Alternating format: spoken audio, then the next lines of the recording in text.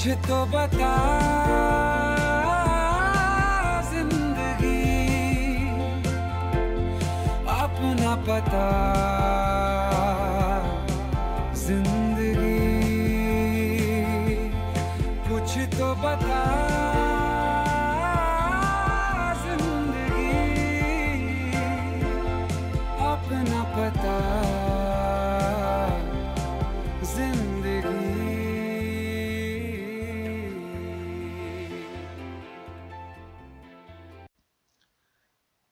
এবারে ডুয়ার্সের রোড ট্রিপটা একটু অন্যভাবে সাজালাম। প্রথমে শিয়ালদা থেকে কাঞ্চনকন্যা এক্সপ্রেস ধরে পরের দিন শিলিগুড়িতে নামলাম। এই শিলিগুড়ি স্টেশনের খুব কাছেই বাইক কেরায়া বলে একটি সংস্থা আছে। সেখান থেকে দুটো স্কুটি ভাড়া নিয়ে আমরা গজলডুবার উদ্দেশ্যে রওনা দিলাম।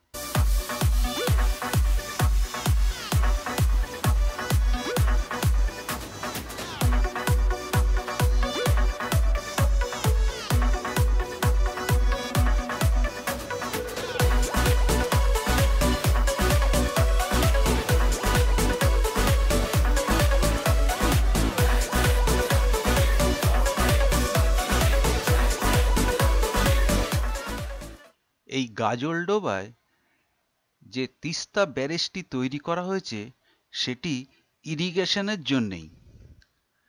আর এই যে রিজার্ভারটা এখানে আছে, সেটা ট্যুরিস্ট অ্যাট্রাকশন ভীষণ বেশি এবং এখানে পাখি দেখার জন্য বৈকুণ্ঠপুর ফরেস্টও বিখ্যাত।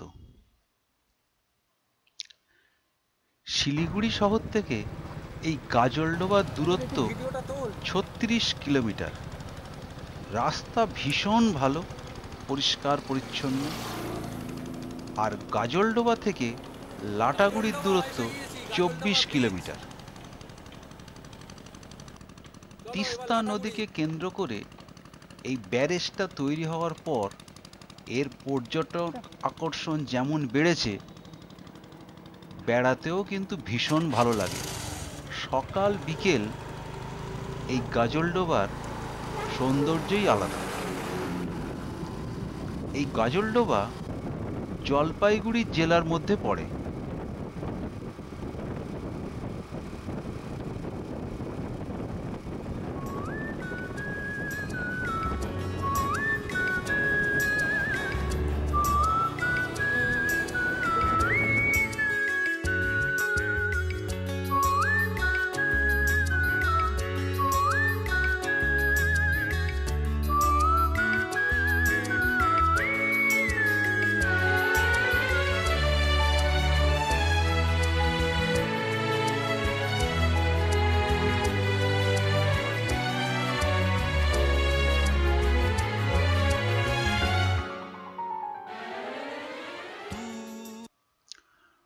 গজলডোবার পাঠ শেষ করে আমরা চব্বিশ কিলোমিটার পথ এগিয়ে চললাম লাটাগুড়ির উদ্দেশ্যে।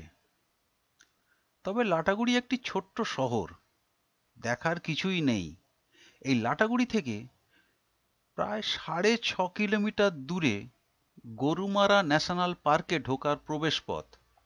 তবে গরুমারা ন্যাশনাল পার্কে ঢুকতে গেলে লাটাগুড়ি থেকেই পারমিশন করতে হয়।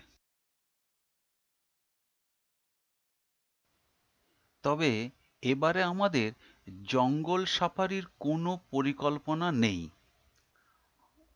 আমরা স্কুটি নিয়েই বিভিন্ন জঙ্গলের পাশ থেকে এবং জঙ্গলের বুক চিরে যেসব রাস্তা চলে গিয়েছে, সেই রাস্তা দিয়ে আমরা পরের ডেস্টিনেশনে চলে যাব।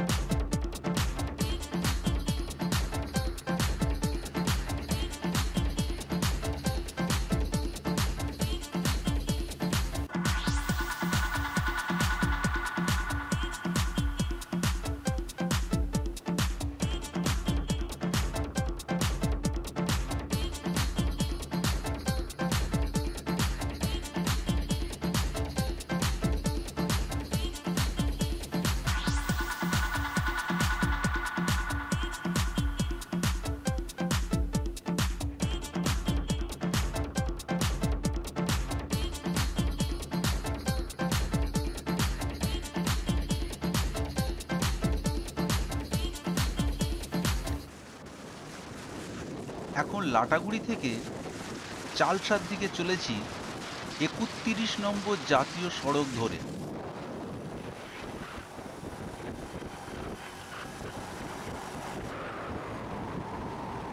এই রাস্তাটা গরুমারা জাতীয় উদ্যানের ভিতর দিয়েই চলে গিয়েছে। দুপাশে ঘন জঙ্গল, একটা বসতি নেই।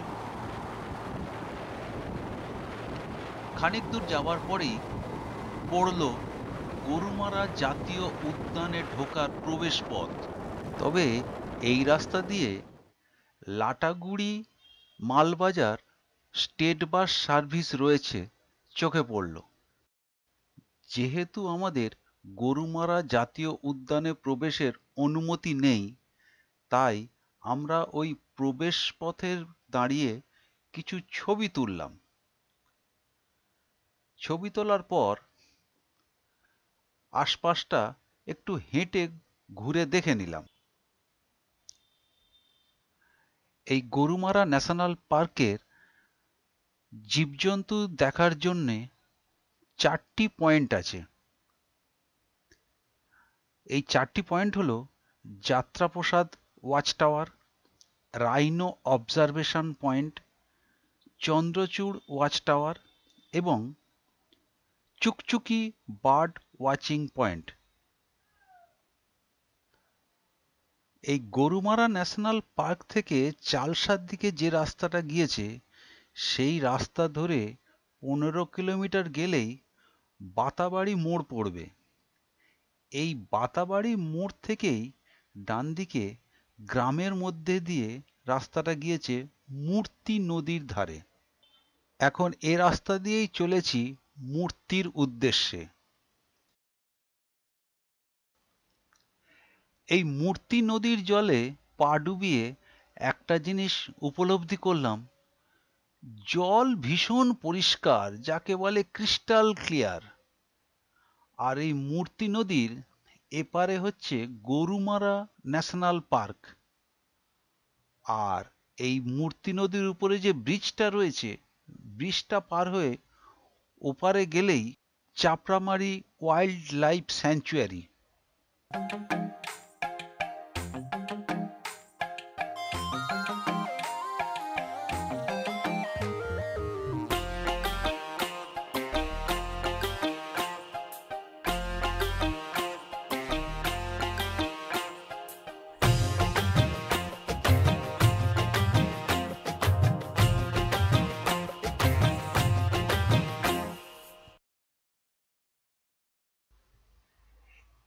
Murti bridge cross করার পরই আমরা চাপড়ামারি ওয়াইল্ড লাইফ স্যাংচুয়ারির মধ্যে প্রবেশ করে গেলাম। এই রাস্তায় বাড়িঘর তো কিছুই নেই, একটা লোকও নেই। মাঝে মধ্যে উল্টো দিক থেকে কয়েকটা গাড়ি আসছে। এই রাস্তা ধরেই চলেছি খুনিয়া মোড়ের দিকে। এই রাস্তা দিয়ে যেতে যেতে ভয়ও লাগছে। মনে হচ্ছে হঠাৎ যদি কোনো জন্তু জানোয়ার রাস্তার উপর এসে পড়ে, পালিয়ে যাওয়ার পথটুকুই পাবো না। যেতে যেতে রাস্তা মাঝে মধ্যে অন্ধকার হয়ে যাচ্ছে। অথচ এখন বাজে দুপুর দুটো। যাই হোক, এইভাবে এসে গেলাম খুনিয়ার মোড়।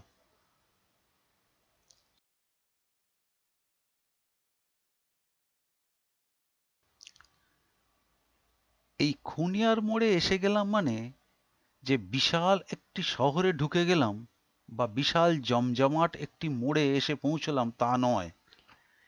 এই মোড়ে একটি চায়ের দোকান ছাড়া আর কিছুই দেখতে পেলাম না।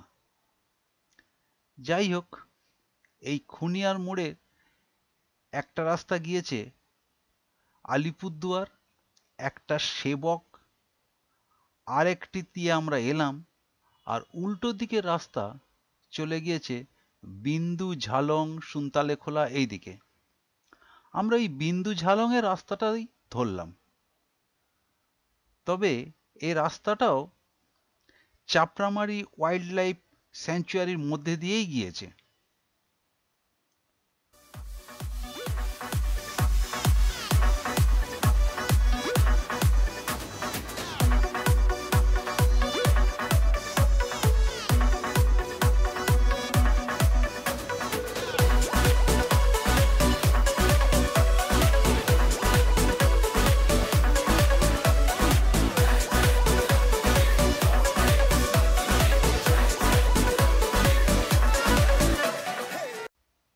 এইভাবে চাপড়ামারি ওয়াইল্ড লাইফ স্যাংচুয়ারির মধ্যে দিয়ে চলতে চলতে চলে এলাম চাপড়ামারি রেল ক্রসিংয়ে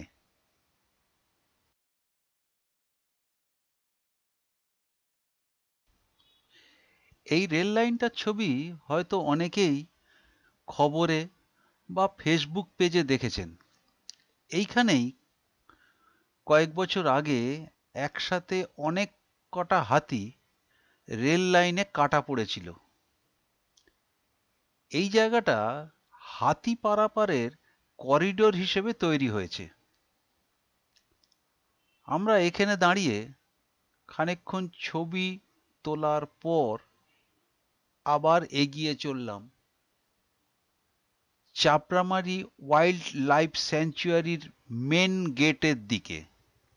কোনো স্যাংচুয়ারিতেই আমাদের সাফারি করার পরিকল্পনা না থাকার ফলে আমরা এগিয়ে চললাম বিন্দু ঝালংয়ের পথে। এই চাপড়ামারি ওয়াইল্ড লাইফ স্যাংচুয়ারির গেট পার হয়ে ঝালং বিন্দুর পথে একটু এগোতেই রাস্তা ওপরে উঠতে শুরু করল। আর তেমনি বাঁক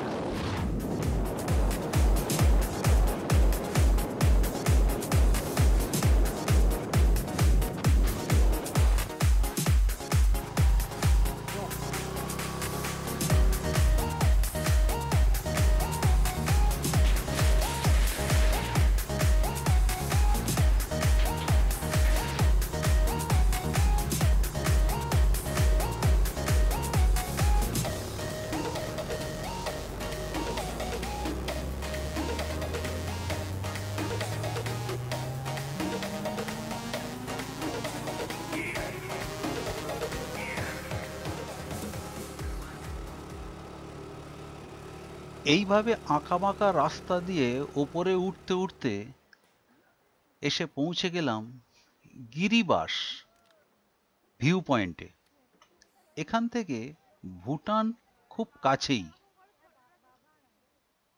তবে উপরে উঠেছি, এটা বুঝতে পারলাম, একটু ঠান্ডা ঠান্ডা অনুভব হচ্ছে বলে।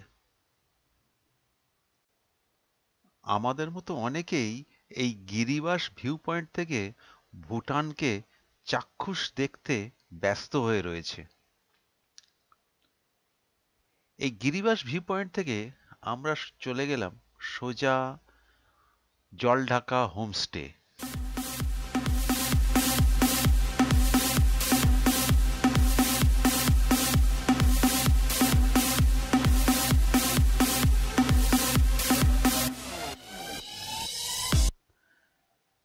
এই ঝালংয়ে জলঢাকা হোমস্টেতে আজ রাতে আমরা থাকব।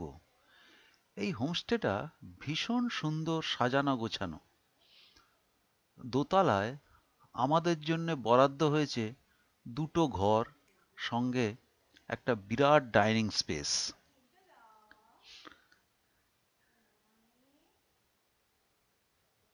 এর চারিদিকেই বারান্দা রয়েছে। বাইরে বেরোলেই পাশেই ভুটান পাহাড় দেখা যাচ্ছে। এটা হচ্ছে আমাদের ডাইনিং স্পেস। হোমস্টেতে আর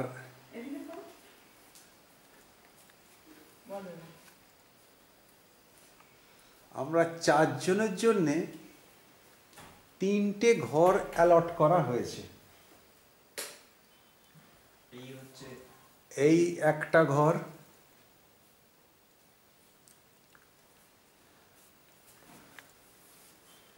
এই আর একটা ঘর সঙ্গে বারান্দা।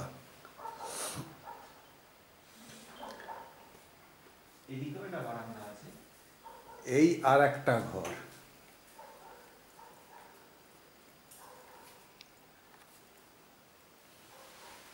এই ঘর ডাইনিং স্পেস বারান্দা নিয়ে আমাদের চারজনের জন্যে একদিনের থাকার খরচ দু হাজার টাকা। তা খুব পরিষ্কার পরিচ্ছন্ন, খুব ভালোই লাগল ঘরগুলো দেখে। ঘরে শিফট করার পর বারান্দায় চলে গেলাম ভুটান পাহাড় দেখতে দেখতে চা খেতে। খুব সুন্দর পরিবেশ, একদম শান্ত। পাশেই শোনা যাচ্ছে জলঢাকা নদী কলকল শব্দে বয়ে চলেছে।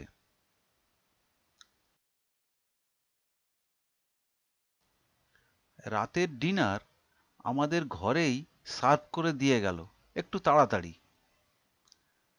তা আমরাও বেশি দেরি না করে ডিনার করে নিয়ে শোয়ার তোড়জোড় শুরু করে দিলাম। কারণ আজ শিলিগুড়িতে নেমে এখনও পর্যন্ত প্রচুর স্কুটি চালানো হয়ে গিয়েছে।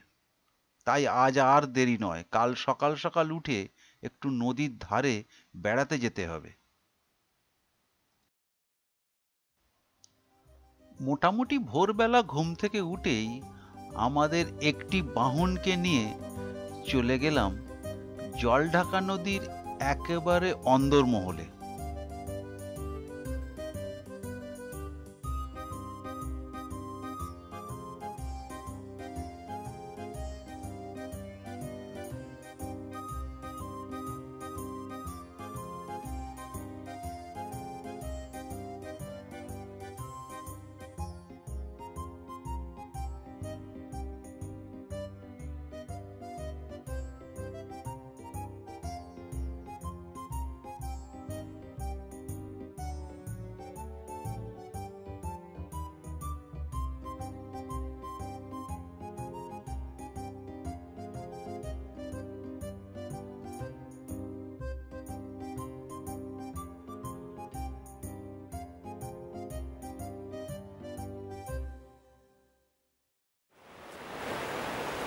আমি এখন ভুটানে দাঁড়িয়ে আছি, এই ম্যাপে। এটা জলঢাকা নদী। কিন্তু ভুটানের বাউন্ডারিটা নদীর একবার ওপার থেকে একবার এপার থেকে। আমরা এই মুহূর্তে দাঁড়িয়ে আছি ভুটানের সীমানার মধ্যে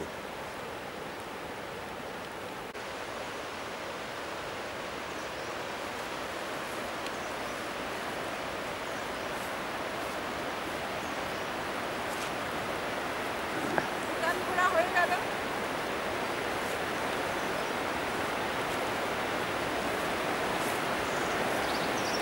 আমরা ভুটান দেখে এখন যাচ্ছি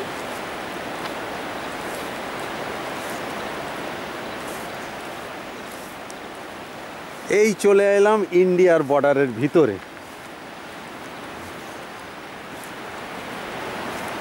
এই চলে এলাম দিদির জায়গায়।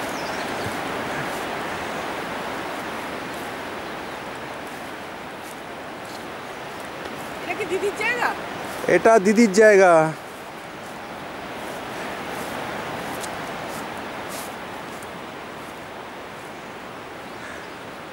আমাদের বাহন দাঁড়িয়ে আছে।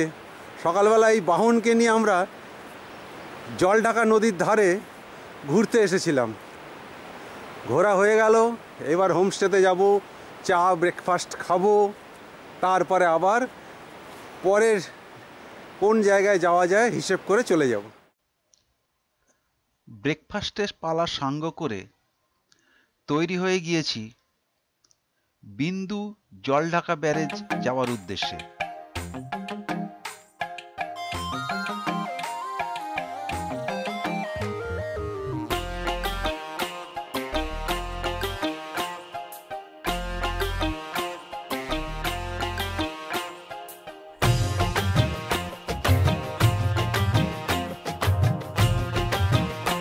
সকালবেলা জলঢাকা হোমস্টে থেকে বেরিয়ে আমরা বিন্দুর পথে চলেছি। মাঝে ব্রিজের পাশে দাঁড়ালাম অ্যাপেল স্টোন দেখতে। এখানে যে পাথরটা রয়েছে, সেটা লোকে বলে অ্যাপেলের মতো দেখতে। এই অ্যাপেলের মতো স্টোনটাকে নিয়েই পাশে তৈরি হয়েছে হোটেল অ্যাপেল স্টোন। বিন্দু যাওয়ার পথে এখানেই খাবার অর্ডার দিয়ে গেলে আসার সময় এখানে লাঞ্চ করে নেওয়া যায়। বেশ কিছুটা সময় এই স্টোনকে উপলক্ষ করে খানিকটা ঘোরা হলো, ছবি তোলা হলো। তারপর খাবার অর্ডার না দিয়েই আমরা এগিয়ে চললাম বিন্দুর দিকে।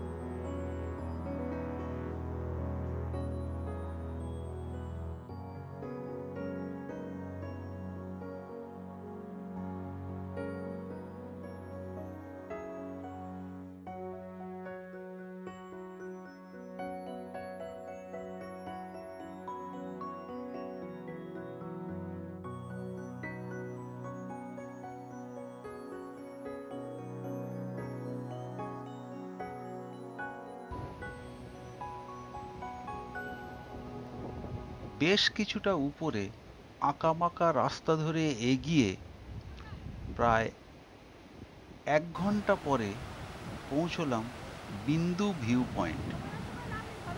এই বিন্দু ভিউ পয়েন্ট থেকে আরও কিছুটা এগিয়ে পড়ল বিন্দু ব্যারেজ।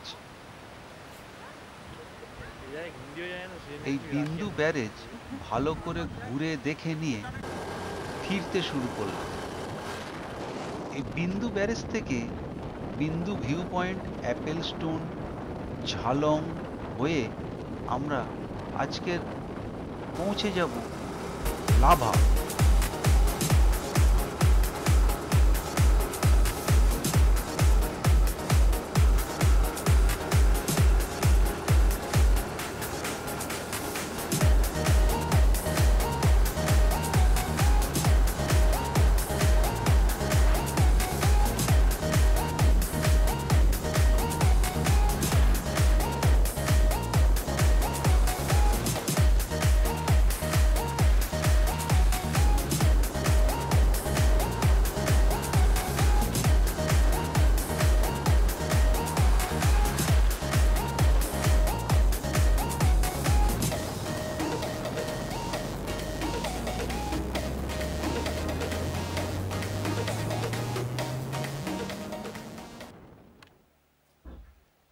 ফেরার পথে আবার পড়ল সেই চাপড়ামারি লেভেল ক্রসিং। এখন যেখানে দাঁড়িয়ে আছি, এখান থেকে লাভার দূরত্ব আটষট্টি কিলোমিটার। তা দেখতে দেখতে এখন ঘড়িতে প্রায় বারোটার কাছাকাছি। এই আটষট্টি কিলোমিটারের মধ্যে আমাদের পৌঁছতে হবে খুনিয়ার মোড় হয়ে চালসা, তারপর গরুবাথান হয়ে পাহাড়ি রাস্তা ধরে লাভা। এই গরুবাথানে বেশ কয়েকটা নামকরা চা বাগান আছে, যেমন Tunbari tea garden Dalingkote tea garden. Nakhati tea garden. এই টি গার্ডেনগুলোর ভিতর দিয়েই আমাদের পৌঁছতে হবে। এই মুহূর্তে আমরা চলেছি তুনবাড়ি টি এস্টেটের ভিতর দিয়ে।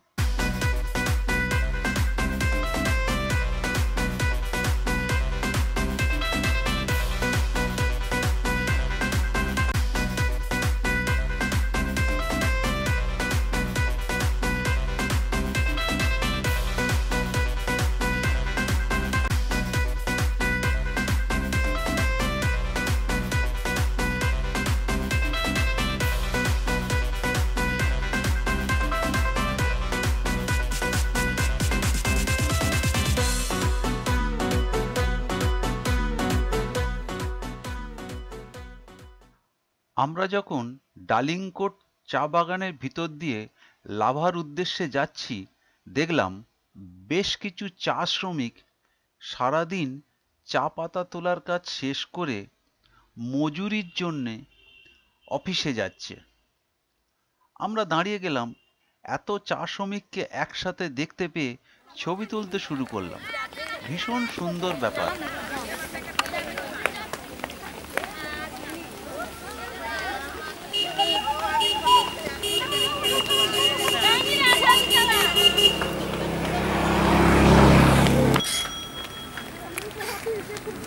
কাল রাত্রে লাভা শহরে এসে পৌঁছেছি। রাত্রে লাভাতে কাটানোর পর সকালবেলা রেডি হয়ে গিয়েছি ব্রেকফাস্ট করে লোলেগাঁও যাওয়ার উদ্দেশ্যে। এই লাভা পাহাড়ি জনপদটি কালিম্পং শহর থেকে তিরিশ কিলোমিটার পূর্ব দিকে অবস্থিত। শীতকালে টেম্পারেচার নামে শূন্য ডিগ্রিতে। আর গ্রীষ্মকালে তিরিশ ডিগ্রি টেম্পারেচার উঠে যায়। এই লোলেগাঁওয়ের রাস্তা ভীষণ খারাপ, কেননা বাগরাকোট থেকে একটা ন্যাশনাল হাইওয়ে তৈরি হচ্ছে যেটা লোলেগাঁও হয়ে কালিম্পং চলে যাবে। এর ফলে কালিম্পং থেকে শিলিগুড়ি দুভাবে আসা যাবে। আমরা লোলেগাঁও শহরে না দাঁড়িয়ে চলে গেলাম হ্যাঙ্গিং ব্রিজ দেখতে। এই হ্যাঙ্গিং ব্রিজ জঙ্গলের মাঝখান থেকে তৈরি হয়েছিল, যার ফলে এই ব্রিজের উপর দিয়ে গেলে দুপাশের জঙ্গল উপভোগ করা যায়। আমরা সেই ব্রিজ দেখতেই এসে গিয়েছি। এখানেও সেই একই গল্প, ন্যাশনাল হাইওয়ে তৈরি হচ্ছে। ধুলো আর ধুলো আর বিরাট বিরাট দৈত্যের মতো সব মেশিন কাজ করছে।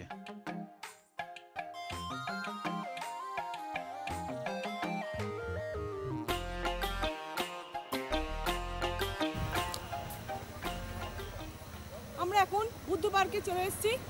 কিন্তু এটা ওই বুদ্ধ পার্ক ভাববেন না এটা হচ্ছে লোলেগাঁওয়ের বুদ্ধ পার্ক।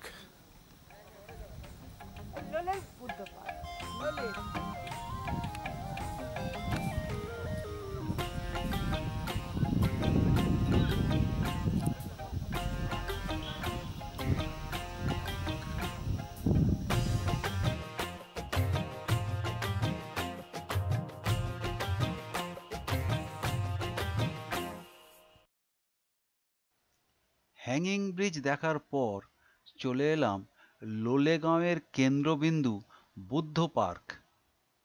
অনেকে বলে এটাকে ম্যাল। এখান থেকেই খুব ভালো কাঞ্চনজঙ্ঘা দেখা যায়। যদিও আমরা দেখতে পাইনি। দুপুরবেলা লোলেগাঁও থেকে লাভাতে ফিরে লাঞ্চ করে আবার বেরিয়ে পড়লাম আশেপাশে কয়েকটা দ্রষ্টব্য দেখে নেওয়ার জন্যে। রাতে লাভাতে নাইট স্টে করার পর সকাল হতেই বেরিয়ে পড়লাম শিলিগুড়ির উদ্দেশ্যে। লাভা থেকে গরুবাথান হয়েই শিলিগুড়ির উদ্দেশ্যে রওনা দিলাম। গরুবাথান চা বাগান পর্যন্ত এখন শুধু নামা আর নামা। আমরা শুধুই ভাবছি কত তাড়াতাড়ি নিচে নামা যায়। কেননা এখানে শুধু ঠান্ডা আর ঠান্ডা। মাঝে মধ্যে মেঘ এসে এমনভাবে রাস্তার উপর দিয়ে যাচ্ছে যে দূরে কিছুই দেখা যাচ্ছে না। তা আমরা খুব সাবধানেই এই মেঘের ভিতর থেকে আস্তে আস্তে নিচের দিকে নেমে এলাম।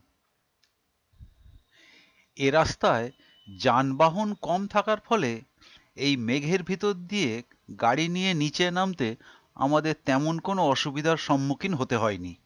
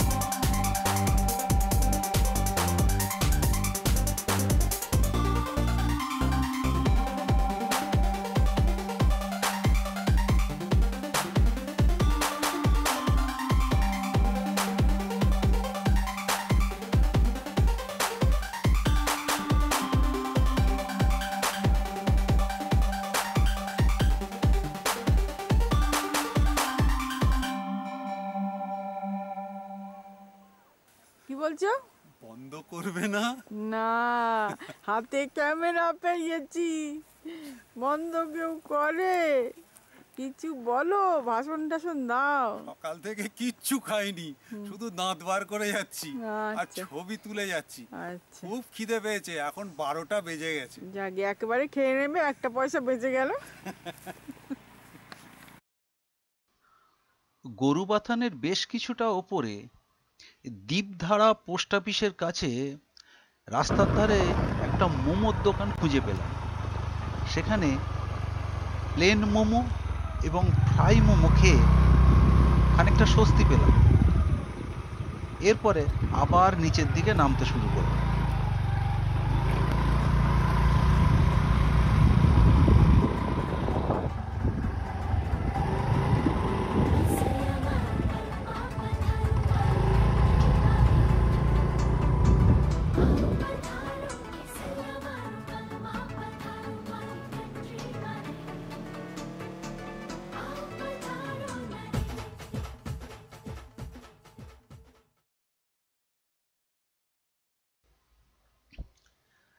কিন্তু যতই নিচের দিকে নেমে আসছি, ততই মনটা খুব খারাপ হয়ে যাচ্ছিল।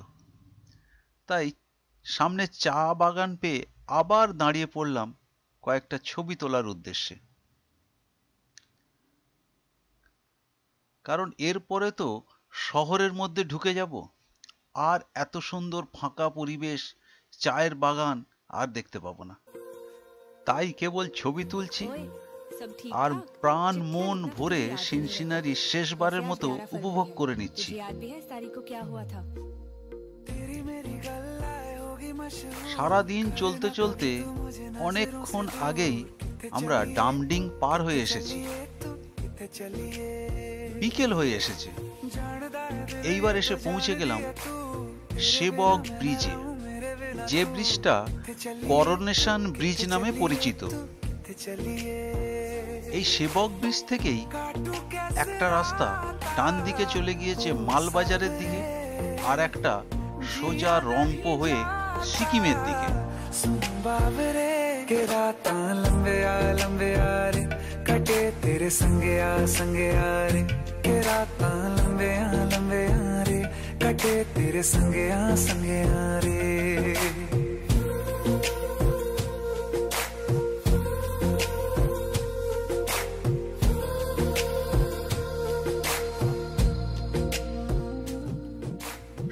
হতেই আমরা শিলিগুড়ি পৌঁছে গেলাম। এখানে এসে স্কুটি দুটো বাইক কেরায়েতে ফেরত দিয়ে রাতে ডিনারের ব্যবস্থা করে নিউ জলপাইগুড়ি চলে এলাম।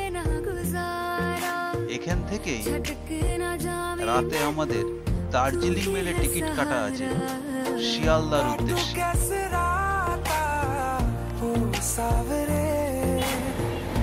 कैसे राता ओ सावरे जिया नहीं जाता सुन बाबरे के रातां लंबे आ लंबे आ रे कटे तेरे संगे आ संगे आ रे के रातां लंबे आ लंबे आ रे कटे तेरे संगे आ संगे आ रे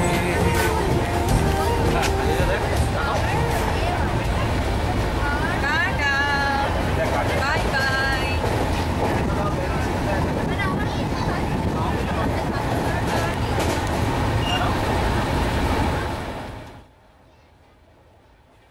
দার্জিলিং মেলে করে আমরা শিয়ালদায় ফিরছি এখানেই আমাদের বেড়ানো শেষ কাল থেকে আবার যে যার কাজে ব্যস্ত হয়ে যাব ਚਮ ਚਮ ਚਮ ਅੰਬਰਾਂ ਦੇ ਤਾਰੇ ਕਹਿੰਦੇ ਨੇ ਸਜਣਾ